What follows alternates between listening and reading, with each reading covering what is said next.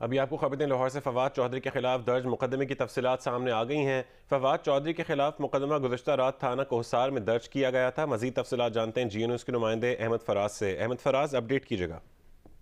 जी, बिल्कुल जी, ये जो मुकदमा है, ये बड़ी ही खौफनाक दिफाल के तहत दर्ज किया गया है और हम तक जो इन्फॉर्मेशन मिली है, ये मुकदमा थाना इस्लामाबाद इस्लामाबाद के थाना कोसार में ये रात को दर्ज किया गया है और इसमें सेक्रेटरी इलेक्शन कमीशन है। ये उनकी मुदैयत में दर्ज किया गया उमर हमीद है सेक्रेटरी इलेक्शन कमीशन। उनकी मुदैयत में दर्ज किया गया मुकदमा।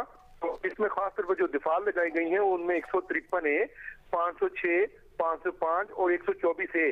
अब इस मुकदमे में जो कहा गया है, उस, इस मुकदमे में जो सेक्रेटरी है इलेक्शन कमीशन, उन्होंने ये कहा है कि वो, उन्होंने पौने छह बजे एक टीवी पर एक जब देखा तो उन्होंने एक टीवी पर सुना कि फवाद चौधरी पीटीआई के सबक एम जो थे उनका एक इंटरव्यू नशर हो रहा था, जिसमें उन्होंने कहा था कि इलेक्शन कमीशन एक मुंशी इलेक्शन कमीशन की हैसियत एक मुंशी की सी हो गई है और इस हुकूमत में इलेक्शन कमीशन ऑफ़ पाकिस्तान को फ़ोन किया जाता है और इलेक्शन कमीशन जो है वो क्लर्क की तरह बैठकर उस वक्त साइन करके भेज देता है।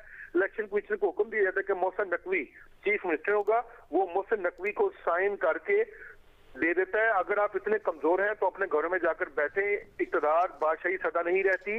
ये जो लोग उनके कैरियर टिकर गवर्नमेंट में लग रहे हैं चाहे वो चीफ मिनिस्टर हो चाहे वो इलेक्शन कमीशन हो या बाकी लोग हों आप यहाँ पर ए, कुछ तीन चार महीने के लिए हैं या एक साल के लिए हैं। इस मुकदमे का मतन है जिसमें खास तौर पर फवाद चौधरी ने इलेक्शन कमीशन को मुंशी कहा है और बहुत उनके खिलाफ बातें लिखी हैं, जिसके बाद ये जो है, ये मुकदमा दर्ज किया गया है और मुकदमा दर्ज होने के बाद फिर इस्लामाबाद पुलिस जो है, वो लाहौर पहुँची है और लाहौर पहुंचकर उन्होंने फवाद चौधरी को उनके घर से हिरासत में लेकर अब एक नामालूम मुकाम पर रखा हुआ है। हमारी इतलात के मुताबिक उन्हें कुछ देर के बाद यहाँ से इस्लामाबाद पुलिस लेकर रवाना होगी और फिर वहाँ पर जाके उनकी गिरफ्तारी डाली जाएगी। जी। बहुत शुक्रिया अहमद फराज अपडेट करने के लिए।